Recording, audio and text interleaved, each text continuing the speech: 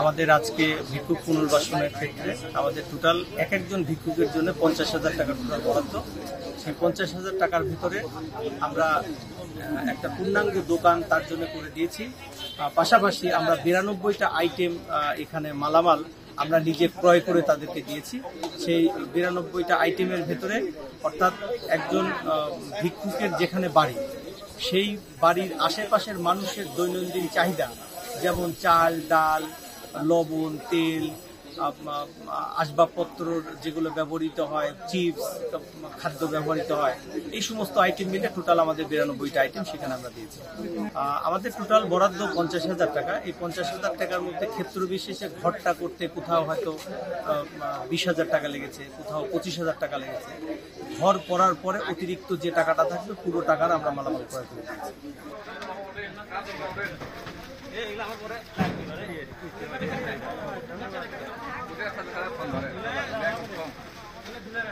ভিক্ষুককে নিরুৎসাহিত করা এবং তাকে তার সাধারণ জীবনে সাধারণ জীবনে যাতে সে উপার্জনক্ষম হয়, সে কাছে কারও কাছে হাত পাততে না এই উদ্দেশ্যেই মূলত আমাদের এই ভিক্ষুক পুনর্বাসন প্রকল্পটি চলছে, চলমান রয়েছে।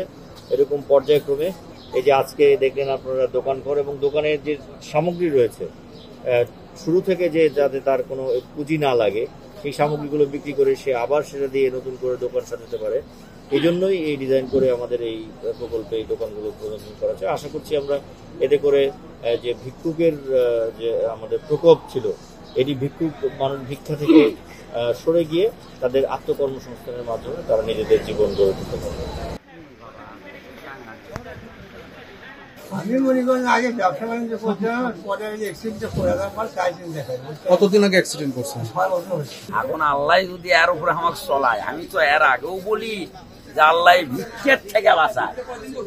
পরের কাছে হাত পাতান থেকে বাঁচায়। আপনার আসলে তো আমি ওইভাবে দেখিনি আমার বাবা তো মানে আমার আইডিয়া মানে পঞ্চাশ টাকা ষাট টাকার মতো আমাদের সমাজসেবা অধিদপ্তর থেকে আমরা কিন্তু ছয় মাস এটা মনিটরিং করব।